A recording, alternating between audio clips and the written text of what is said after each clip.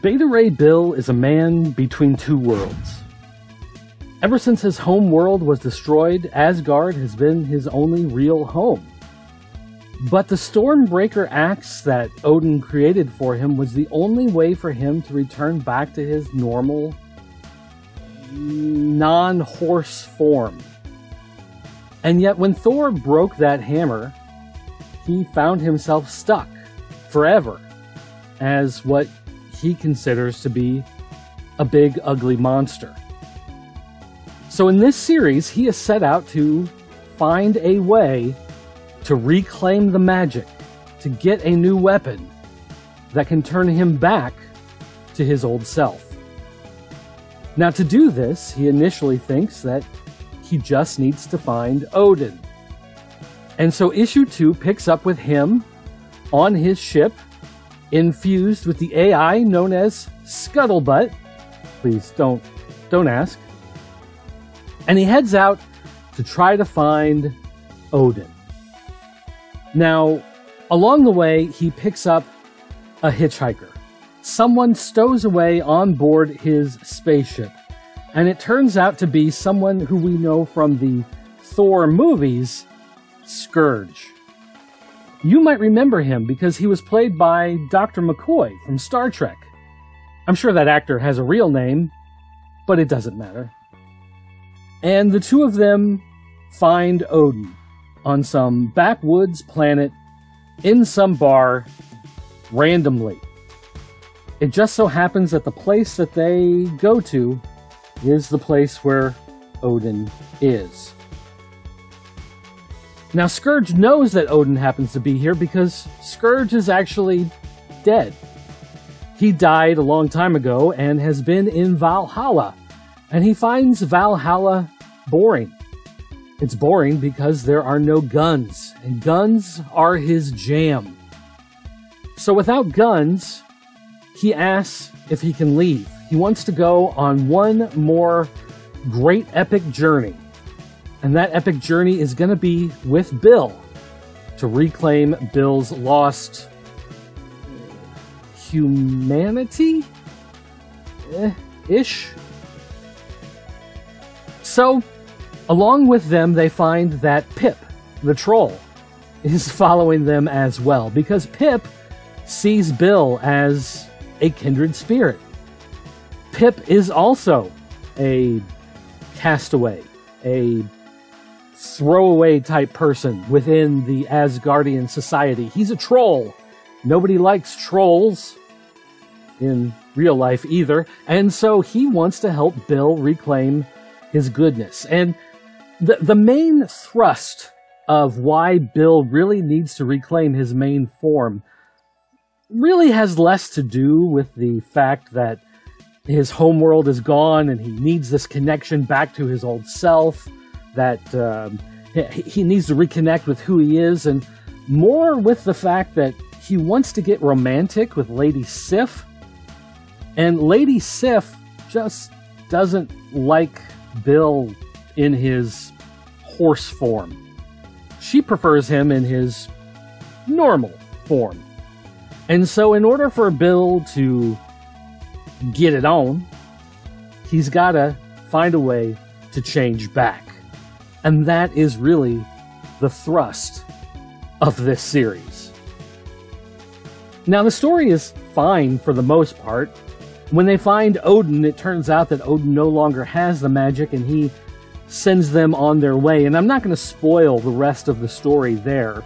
Um, you really need to buy the issue and read it for yourself if you want to find the rest of that. But some of the setups just feel a little too convenient and some of the payoffs aren't really there to pay off.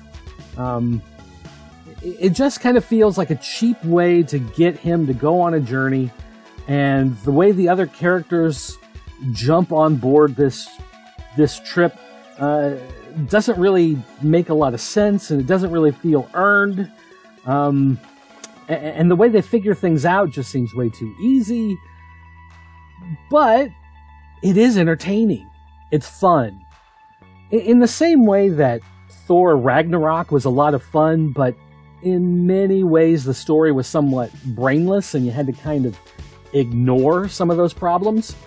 If you can ignore some of the problems with this story, you'll find that it is very entertaining.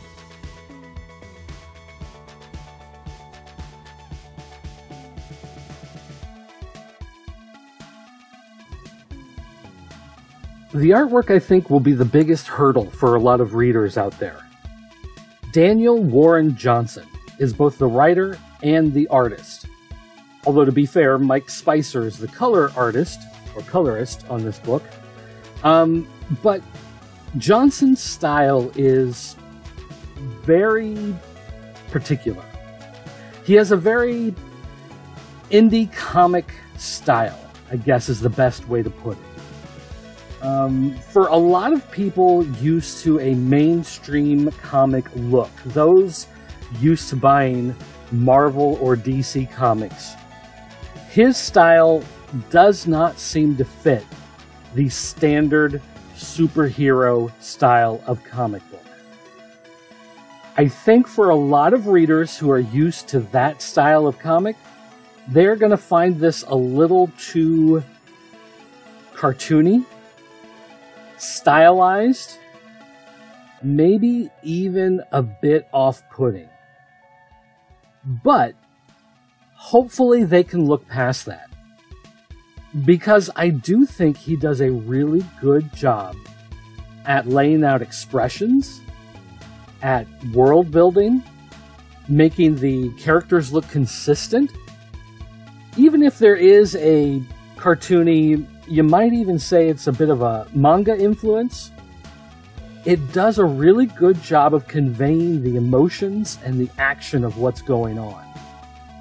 So I hope that those readers who might initially take a look at this and then dismiss it out of hand as just being something that they're not really looking for because it doesn't look like a standard comic book as they're used to, just stop and slow down and go ahead and give it a chance despite the artwork not being what you're used to.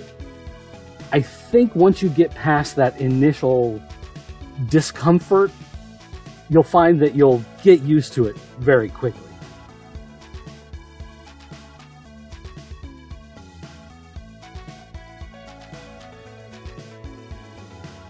As far as value goes, this comic is only $3.99, which puts it on the cheap side of the current comic book marketplace. It also has 24 pages of story.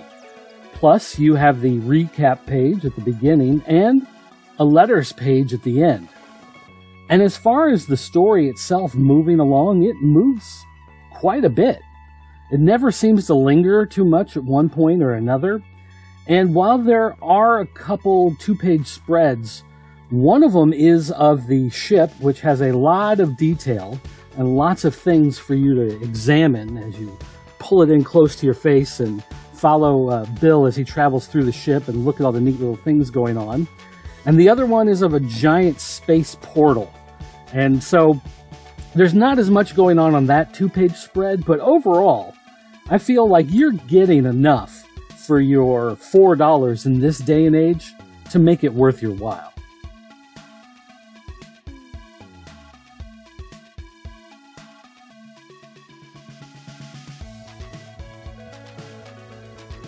So, overall, I think what we have here is a pretty good package as an issue goes.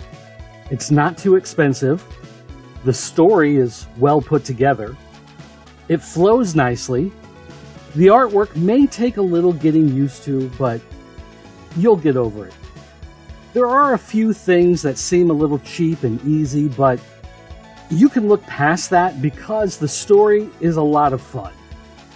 And so I think there are enough net positives to offset any of the few and nitpicky negatives to make this a great issue. And considering that the first issue is pretty much the same as the second, as far as the story being good, the art being the same, the value being the same, that the proposition overall seems to be that this has the makings of a really good miniseries. So, since this is only the second issue of the miniseries, I'd say this is one you probably want to jump on now. Go out, find a copy of the first issue, grab this second issue, and then get ready to grab the rest because this looks like it's going to be one of the good ones that you're going to want to ride along with for the rest of the story.